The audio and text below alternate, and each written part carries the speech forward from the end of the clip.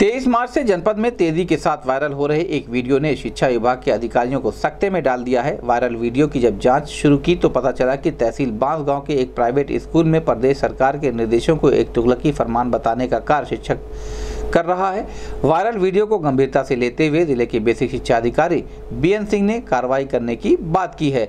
इस संबंध में गोरखपुर न्यूज़ से बात करते हुए बी एस सिंह ने कहा। आप सब बच्चों को एक सूचना बताया जा रहा है। और आज तेईस मार्च है ना? तो भारत सरकार का फरमान जारी हुआ है कि आप सब बच्चों का विद्यालय फिर बंद किया जा रहा है क्योंकि कोरोना बढ़ रहा है। फरमान जो हमारे सरकार हैं, वो अब आदेश कर दिए कि अब फिर जो है कि ये विद्यालय फिर बंद होगा। और अब जाके फिर लॉकडाउन आप लगा रहे हैं। तो आपसे पूछना चाहेंगे